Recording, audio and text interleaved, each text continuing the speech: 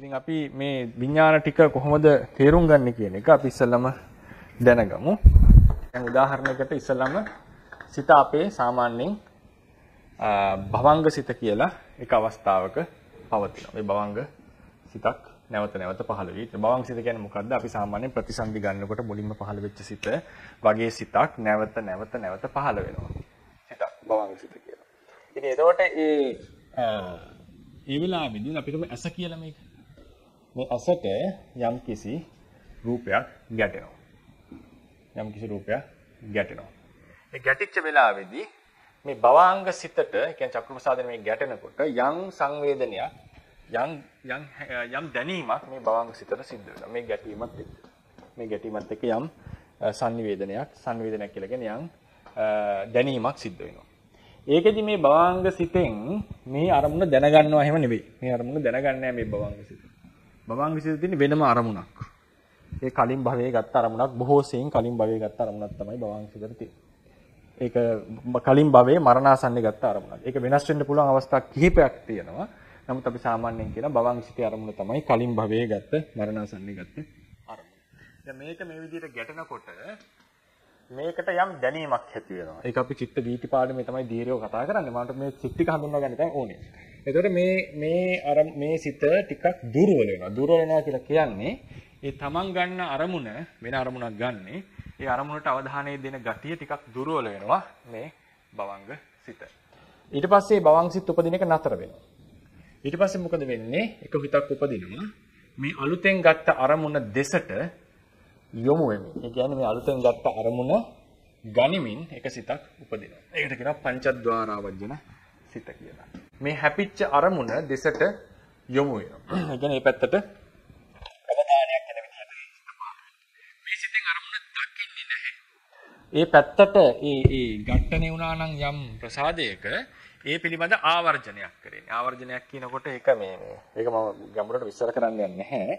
ඒ පැත්තට අවධානයක් දුන්නා වගේ අවස්ථාවක් තමයි මේක කරන්නේ. ඒක අපි වෙනම විස්තර කරන්න ඕන උපමා සහිතව. ඊළඟට දැන් අපි තුම ඇහෙන්නේ ගැටුනේ.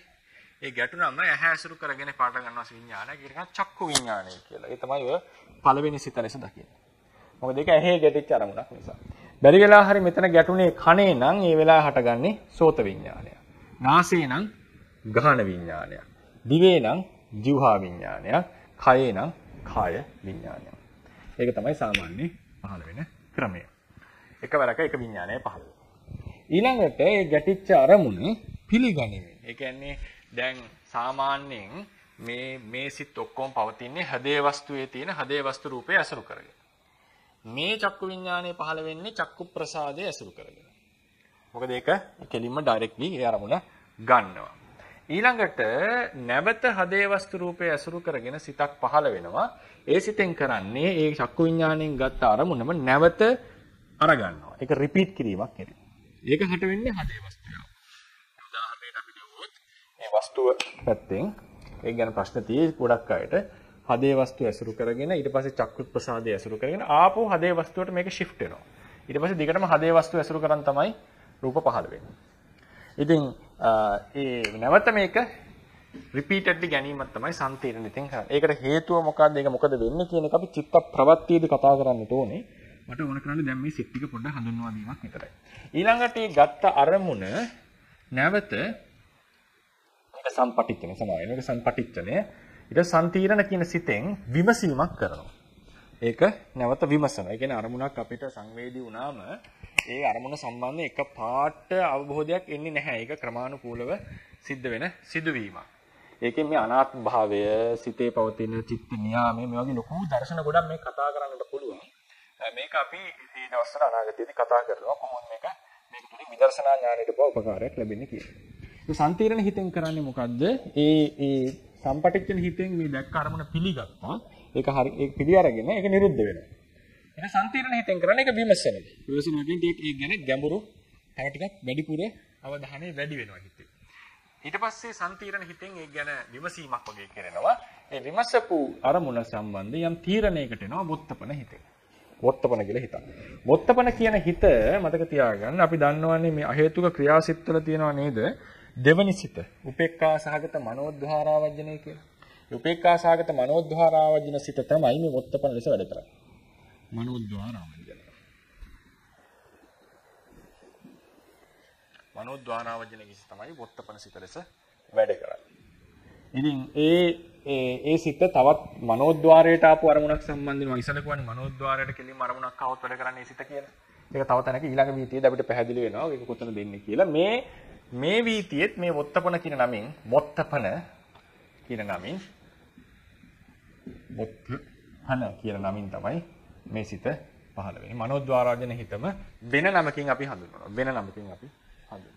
ඒකෙන් මේ ගත්ත අරමුණ සම්බන්ධයෙන් යම් තීරණයක තීරණයක් කියන එක අදහස් කරන්නේ අපි අපි දැන් ෆෑන් දෙකක් මිලදී ගන්න යනකොට මේ පෑන්ද මේ පෑන්ද ගන්න කියලා අපි ටිකක් විමසලා බලලා යම් තීරණයකට එනවා. ඒ වගේ තීරණයක ඉන්නක් නෙවෙයි මේක හුදු කොහොමද මේ පැමිණිච්ච අරමුණ කෙරෙහි ලෝභනීය අරමුණක් නම් ලෝභයට බරව, ද්වේෂනීය අරමුණක් නම් ද්වේෂයට බරව යම් ආවර්ජනයක් මෙතන සිද්ධ වෙන්නේ. ඒක විස්තර කරන්නට ඕනේ දීර්ඝව මොකද්ද මෙතන වෙන්නේ මොකද්ද ඒකට పూర్වෙන් තිබිච්ච බලපෑම අරමුණේ දායකත්වය කියලා එක වෙනම විස් වෙලා වරන් කතා කරන්නට ඕනේ. කොහොමද මේක අපි වෙනස් කරගන්නේ කියන එක. ඉතින් දැනට මතක තියාගන්න ඕනේ මේ මෙතන යම් තීරණයක් සිද්ධ වෙනවා. ඒ තීරණය හේතු කරගෙන ඊළඟට පහළ වෙනවා සිත් කිහිපයක්. අපිට අදාළ වෙන්නේ නැහැ ඒ සිත් මෙතනදී ජවන සිත් කියලා ප්‍රබල සිත් ටිකක්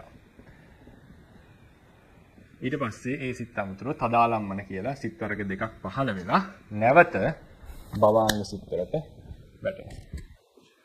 නැවත භවාංග කියන සිත් වලට වැටෙනවා. වැටෙනවා කියලා කියන්නේ නැවත භවාංග කියන සිත පහළ වෙනවා.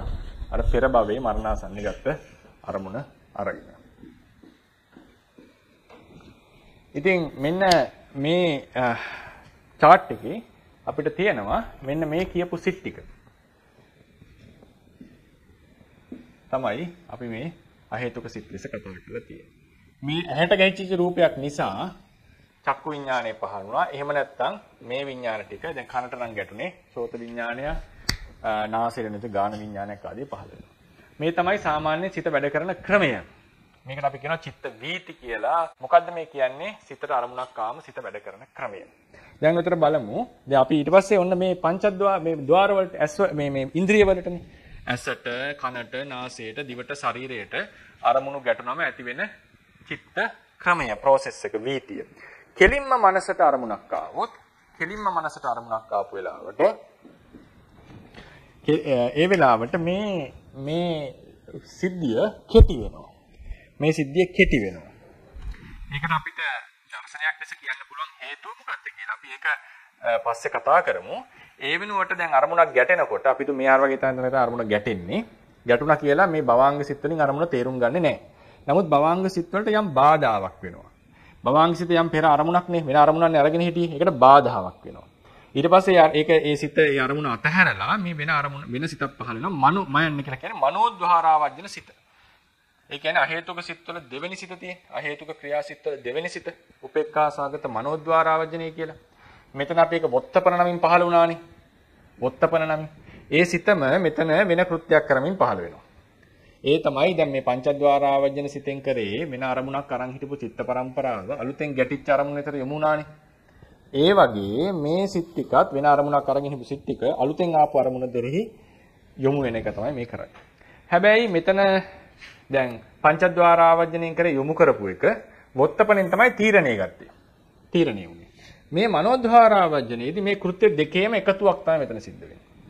අරමුණ දෙසට යොමු වෙමිනුත් තීරණයක් ගැනෙනවා. අරමුණ දෙසට යොමු වෙමින් තීරණයක් ගැනෙනවා. ඊට පස්සේ මොකද වෙන්නේ? තීරණය ගත්ත තීරණයට අනුකූලව අර සාමාන්‍ය අපි කියන ජවන කියන සිත් ටික පහළ වෙනවා. ඊට පස්සේ තදාලම්මන කියලා සිතක් පහළ වෙනවා. ඒක මම විස්තර කරන්න යන්නේ. ඊළඟට භවංග සිත පහළ. මේකෙදි මේ මනෝද්වාරාවජන මනෝ මේ කියන්නේ මේ මේක තමයි ඇහි කනේ නාසයේ දිවේ ශරීරයේ රූපයක් ගැටුනම ඇති වෙන වීති ක්‍රමය. සිත වැඩ කරන්නේ මෙහෙම. කෙලිම මනසට අරමුණක් ආවොත් එහෙම සිත වැඩ කරන්නේ මෙන්න මේ ක්‍රමයට. මේකෙදි අපිට මේ මනෝද්වාරාවජන කියන සිත වැදගත් අපි අද පාඩම. ඒකට මෙන්න මේ කියන තැන්වල තමයි මේ සිත් සියල්ල වැඩ කරන්නේ. දැන් හොඳට බලන්න අපි ගත්ත දැන් අපි කෙටියෙන් හඳුනා ගන්නමු මේකෙන් අපිට තේරුම් ගන්න තියෙන කතාව මොකද්ද කියලා. ඉස්සලා අපි නම් කළා දැන් අපි ගන්න උපේක්ඛාසගත චක්කු විඥානය. කුසල විපාක අකුසල විපාක කුසල විපාක. ඒ තමයි මේ ඡයන්ෙන් දැක්වේ. ඒතර ඇහැට රූපයක් ගැටුනම ඒ යන වැඩසටහනේ පංචද්වාරාවජන සිතට පස්සේ පහළ වෙන චක්කු විඤ්ඤාණය. මේකෙන් චක්කු විඤ්ඤාණය පහළ. මේකෙන් තමයි රූපේ දකින්නේ. කාටනා සද්දයක් වෙන මේකෙන් සෝත විඤ්ඤාණය පහළ. ඒකෙන් තමයි සද්දය අහන්නේ. සද්දය ඇහෙනවා විතරයි ඒකට. ඒකෙන් තීරණය කරන්නේ කවර සද්දයක්ද මොකද්ද කතාව.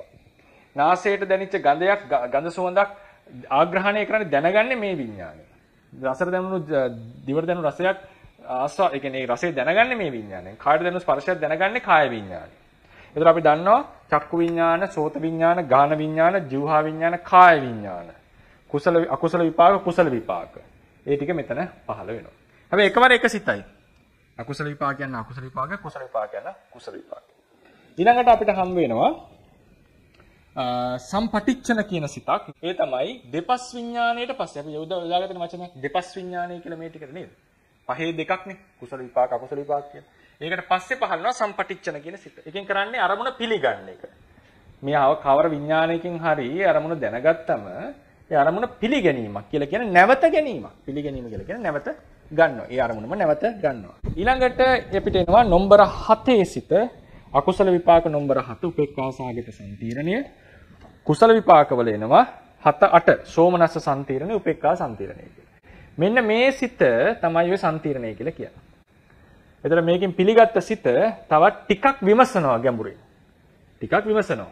ඉතින් නැවත ඒ සිත, ඒ කියන්නේ මේ සිතෙන් නැවත මේ අරමුණ ගන්න එකයි වෙන්නේ. අරමුණ ගන්නකොට එතන ටිකක් වැඩිපුර අවධානයකින් අරමුණ ගැනෙනවා. වැඩි ඒකේ ඇතුළට கிඳා බහින බතියක් වෙනවා. මොකද හේතුව මේක ක්‍රමානුකූලව සිතේ අරමුණ ගන්න ගතිය, ශක්තිය ටික ටික වැඩි වෙනවා. මෙතන ලොකු දර්ශනයක් තියෙනවා. මේ කොහොමද මේ ඇත්තටම මේ අරමුණ ගැටිච්ච තැන ඉඳලා මේ මුළු process එක ගිහිල්ලා මේ හතරවෙනි ජවනි දක්වා ගිහිල්ලා ඒක පහළට බහින එක අනාත්මව සිද්ධ වෙන හේතුඵල සම්බන්ධයක් මෙතන තියෙන්නේ. ඉතින් අපි සාමාන්‍යයෙන් මේක නම් කිරීමක් කරනවා මේ සම්පටිච්ඡන සිතෙන් ගත්ත අරමුණම සම්පීම් හිතෙන් නැවත ගන්නවා. පොඩ්ඩක් ගැඹුරට ඒක ගන්න. ඒකට කරනවා විමසීමක් කියලා. මේක විමසීමක් කියලා කියනවා. ඊට පස්සේ මේකේ පොඩි තීරණය කිරීමක් කරනවා මේ සිතෙන්. මොකක්ද මේ තීරණය කරන්නේ? මේ ගත්ත අරමුණට ඇලෙනවද, ගැටෙනවද, ඒක සම්බන්ධයෙන් පහදිනවද කියලා හිතේ ඇති වෙන ගතියක්. ඒක අර විශ්ලේෂණය කරලා කරන එකක් නෙවෙයි. හිතේ ඇති වෙනවා මේකට ඇලෙන ඇලෙන්නට සුදුසු බවක්, ගැටෙන්නට සුදුසු බවක් කියලා ගතියක්, තල්ලුවක්. ඒ සිතේ ඒක කරන්නේ මේ මොත්තපන සිතේ. මොකද මේ විමසීමට අනතුරුව තමයි මේක සිද්ධ වෙන්නේ. මේක බොහෝ දුරට බොහෝ දුරට මේ සිත තීරණය වෙන්නේ අපේ පෙර හුරු සමග. අපිට නිතරම ඇලිච්ච අරමුණක් නම් අපි දකින්නකොටම ඇලෙනවා. ගැටිච්ච අරමුණක් නම් අපේ සිතේ දකින්නකොටම ගැටීමට එනවා. ගැටීම එන්නේ මේ සිතේ නෙවෙයි. ගැටෙන පැත්තට හිත යොමු වෙන්නේ තීරණය වෙන්නේ මේ සිතේ. ගැටීම ඇලීම සිද්ධ වෙන්නේ මෙන්න මේ කියන සිත් වලින්. ඊළඟට තදාලම්මනික සිත් වර්ගයක් පහළලා මේක අවසන් වෙනවා. වොත්තපන සිත කියලා කිව්වේ අහේතුක ක්‍රියාසිටවල තියෙන මනෝද්වාරාවර්ජන සිත. මනෝද්වාරාවර්ජන සිත.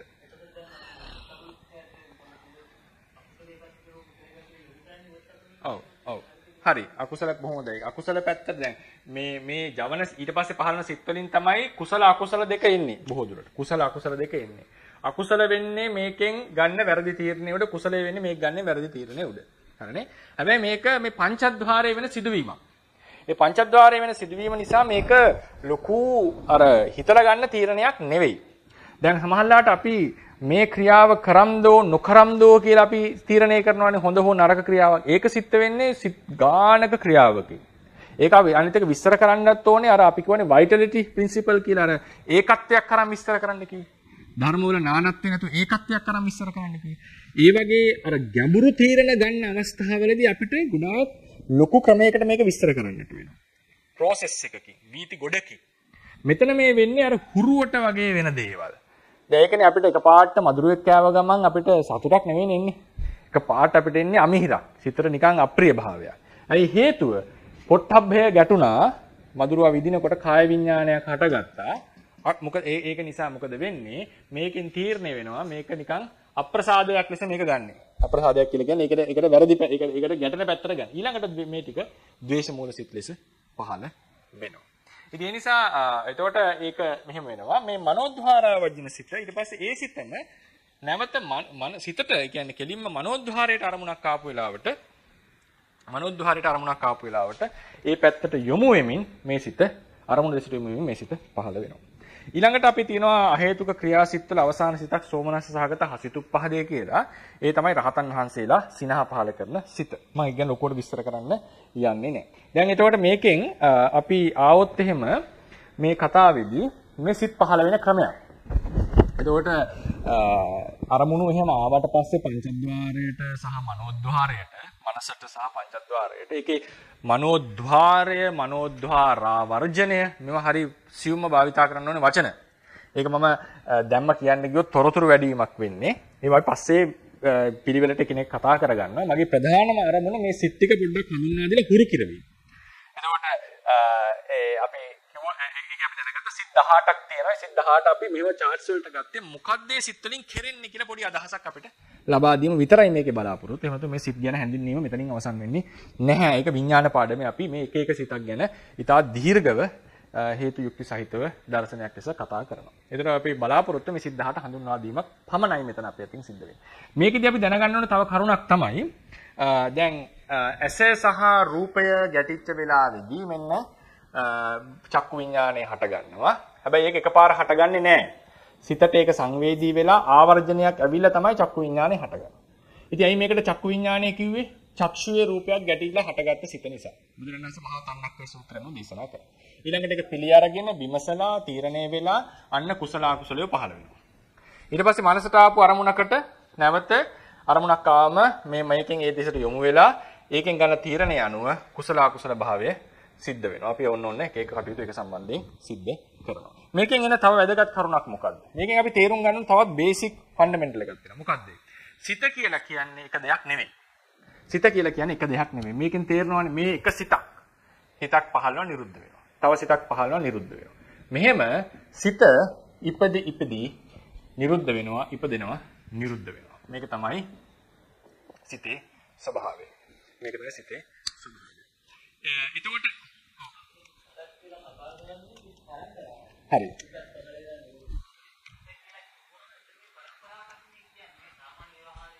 ඔව්. ඒ කියන්නේ බොහොම හොඳ ප්‍රශ්නයක්. ඒ කියන්නේ අපි සාමාන්‍ය ව්‍යවහාරයේදී අපි කියනවානේ සිතකින් අපි ඉන්නවා කියලා අපිට සිතක් තියෙනවා කියලා. නමුත් අපේ ධර්මයේ හැටියට මෙතන තියෙන්නේ සිත් පරම්පරාවක්. සිත් සිත් සමූහයක්. මේ සම්බන්ධයෙන් ලොකු කතාවක් වුණා තුන්වෙනි ධර්ම සංගායනාවේ. ඒක බලන්න පුළුවන් චිත්ත ටිති කතා කියලා මාතෘකාවක්.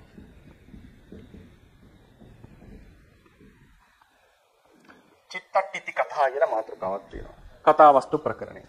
කතා වස්තු ප්‍රකරණය. එතනදී අපි සාමාන්‍යයෙන් කියනවා අපේ ථේරවාදයේ තියෙනවා වාක්‍යයක්. ඒක අටුවාවේ එන්නේ නත්වේපි තේපි තිට්ටන්ති ද්විහි චිත්තේහි සමෝහිතා. මොකද්ද මේ කියන්නේ? ද්වි අරූප ලෝකේ ඉන්නා වූ සත්වයක් උනත් සිත් දෙකකින් වාසය කරන්න නැහැ කියලා කියනවා. නත්තේ පිටේ පිටිට්ටන්ති ද්විහි චිත්තේහි සමෝහිතා. එකවර සිත් දෙකකින් වාසය කරන්නේ. ඒකෙන් අදහස් කරන්නේ එකවර සිත් දෙකක් පහළ වෙන්නේ නැහැ. එක එකකට එක පෙර පසු වේ පසු වේ තමයි සිත් පහළ වෙන්නේ. සිත් දෙකක් එකපාර సంతානයක පහළ වෙන්නේ නැහැ. ඒක තේරවාදයට පටහැනි. එතකොට සමහර නිකායක් මට මේ නිකාය මතක් වෙන්නේ නම මොකද්ද කියලා මේ මාතෘකාවට ගියාම අටුවා දකින්න පුළුවන් මොකද්ද නිකාය කියලා. ඒකෙදි ඔවුන් කියපු දාදේ තමයි මේ ඔක්කොම එක සිතක් කියලා. ඇත්තටම ගත්තොත් අපිටත් තියෙන එහෙම හැඟීමක්. අපිටත් තියෙන්නේ උදේ පටන් හවස් වෙලා රැ වෙනකම්ම එක සිතකින් අපි වැඩි කරා වැඩ කරා වගේ හැඟීමක්. මුළු ජීවිත කාලෙම එකම සිතකින් වැඩ කරා වගේ හැඟීමක්. ඒ නිසා අර එක නිකායක් කිව්වා මේ සිත මුළු ජීවිත කාලෙම පවතිනවා. එක විදිහට. තේරවාදීන්ගේ අදහස නැහැ. එතන කිව්වේ එකවර සිත් දෙකක් පහළ වෙන්නේ නැති එක විතරයි. එකවර සිත් දෙකක් පහළ වෙන්නේ නැති එක විතරයි මේ එකපසු පෙරපසු ඒකට ඒ ඒ සිතට පස්සේ පස්සේ අලුත් අලුත් සිත් පහළ වෙනවා. මේක දිගින් දිගට සිද්ධ වෙගෙන යන දෙයක්. දිගින් දිගටම සිද්ධ වෙගෙන යන දෙයක්. ඒකදී ඒ කට්ටිය අනිත් නිකායෙන් ගේන තර්කයක් තියෙනවා. ඒ වෙලාවේ අහනවා මේ දැන් ඒ කට්ටිය කියන තර්කිකමයි තේරවාදීන් කියනවානේ පෙර එකිනෙකට පසුපසු සිත් උපදිනවා කියලා. එහෙමනම් මේ උපදින උපදින වාරයක් ගානේ සත්‍යය මෙරි මෙරි උපදිනවාද කියලා. අපි කියනවා සනිකව නාම රූපය බිඳෙනවා අලුතෙන් හට ගන්නවා කියලා. නමුත් පුද්ගලයා මැරෙන්නේ නැහැනේ පුද්ගලයා කියන කෙනා පුද්ගලයා කියලා අදහස් කරාගත්තේ අපි භවයක්නේ ප්‍රතිසන්දීනා චුතිය දක්වා එක භවයක් ලෙසනේ ගන්නෙ. එතකොට ඒ භවයේ ප්‍රතිසන්දියක් ඒ භවයේ මරණයක් කියන එක ගන්නවා. මේ අතරමැද තියෙන ෂණික මරණය කියන එක අර කියපු අපි කියන මරණයට සමාන නැහැ. ඉතින් කවුරු හරි කියනවා නම් නානාසිත පහළ වෙනවා කියලා. ඔවුන් අහන ප්‍රශ්නේ තමයි එහෙමනම් මේකේ සත්‍යය හැමතිස්සෙම මෙරි මෙරි උපදිනවද කියලා. ඒතර කියනවා එහෙම එකක් නෙවෙයි මේක භවයකින් පිරිසිදුගත්ත දෙයක්. ඊළඟට ඔවුන්ට කියන ප්‍රතිතරකය තමයි තේරවාදීන් කියනවා නම් එකම සිතක් තියෙන්නේ කියලා. එකම සිතකින් ඉපදිලා ඒ සිතින්ම මිය යනවාද?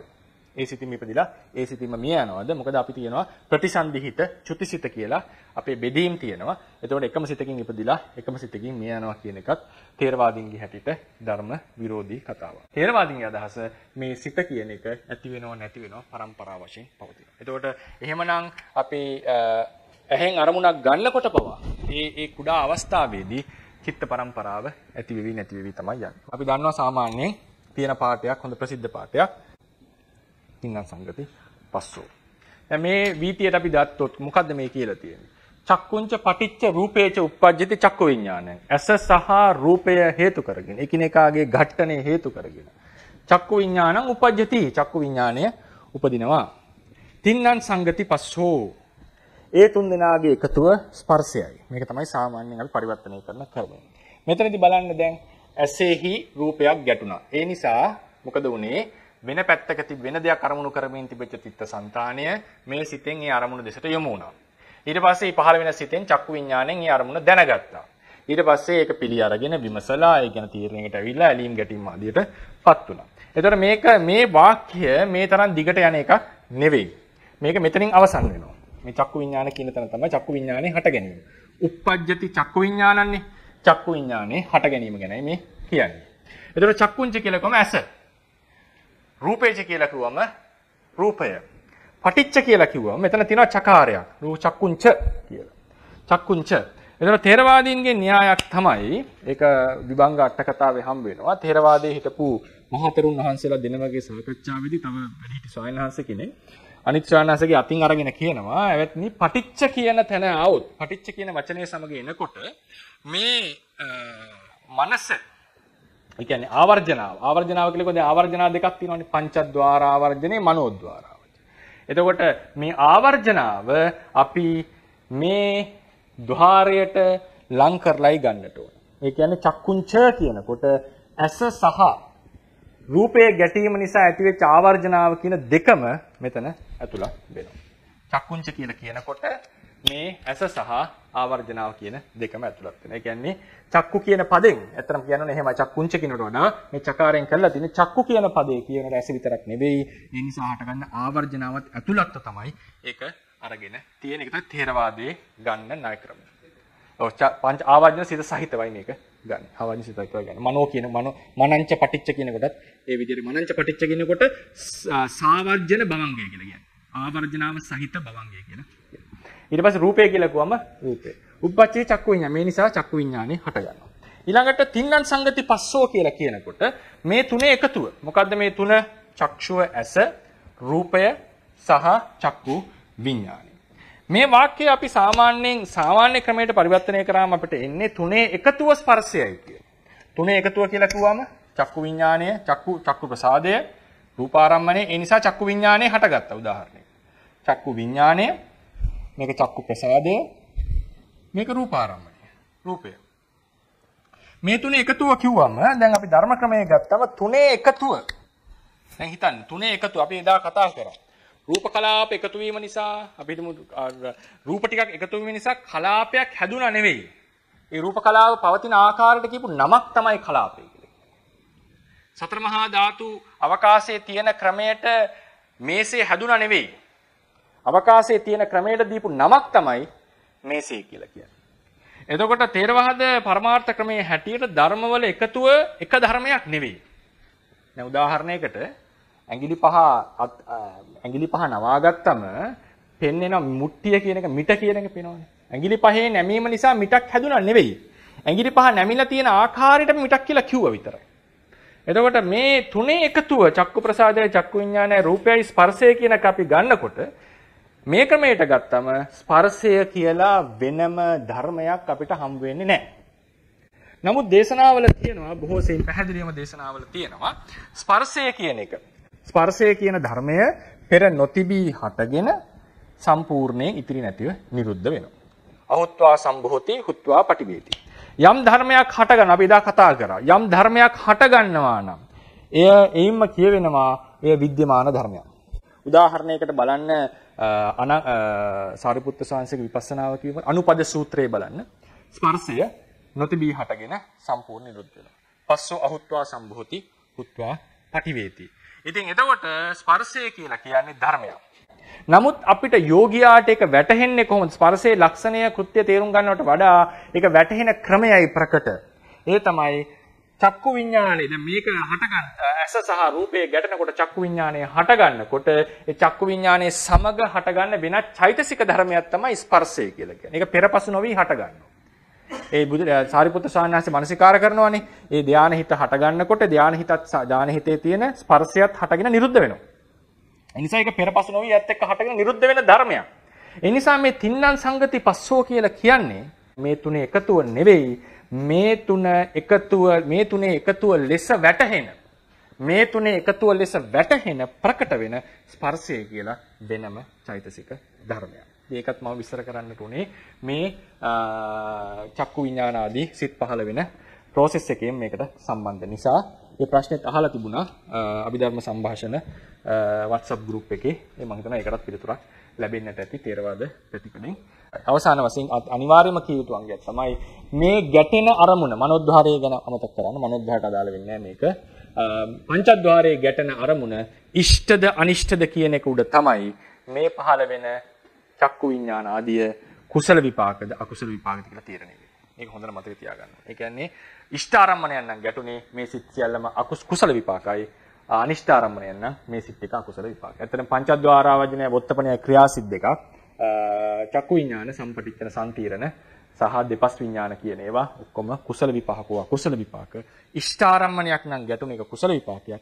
අනිෂ්ඨාරම්මණයක් නම් ගැටුනේ ඒ සියල්ලම අකුසල විපාක වෙනවා. ඒ කියන්නේ චක්කු විඥානයේ කුසල විපාක වෙලා සම්පටිච්ඡනේ අකුසල විපාක වෙන්න බෑ. ඒක සියල්ලම එකම ගණේටමයි එක වීතියක වැඩ